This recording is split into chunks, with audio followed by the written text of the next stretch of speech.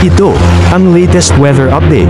Alamin ang pinakasariwang ulat panahon ngayon dito sa Information TV Educational Channel. Kasalukuyan nga ay easterlies pa rin o yung mainit na hangin galing karagatang Pasipiko yung nakakaapekto sa may silangang bahagi ng Southern Luzon, Visayas at Mindanao.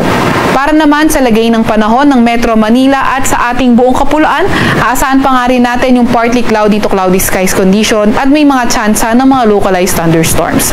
Yung ating mga kasamahan sa Regional Services Division maglalabas ng mga thunderstorm advisory, rainfall advisory o hindi kaya heavy rainfall warning kung kinakailangan. May kita nga rin natin sa ating satellite image na wala tayong namomonitor na low pressure area or bagyo sa loob or malapit sa ating Philippine Area of Responsibility.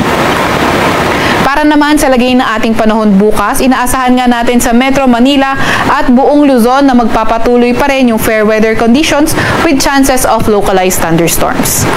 Agwat ng temperatura bukas sa Metro Manila, 26 to 33 degrees Celsius. 17 to 22 degrees Celsius sa may Baguio, 25 to 31 degrees Celsius sa may Lawag, 26 to 32 degrees Celsius sa may Tugigaraw, 24 to 29 degrees Celsius sa may Baguio at 25 to 32 degrees Celsius sa may Legazpi. Agwat naman ang temperatura sa Puerto Princesa ay 25 to 32 degrees Celsius.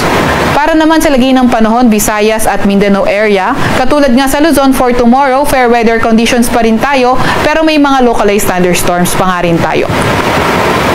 Agwat ang temperatura bukas sa Cebu at Tacloban ay 26 to 32 degrees Celsius. Sa Cagayan de Oro naman at Davao ay 25 to 32 degrees Celsius. Sa Iloilo ay 27 to 32 degrees Celsius at sa may ay 25 to 34 degrees Celsius.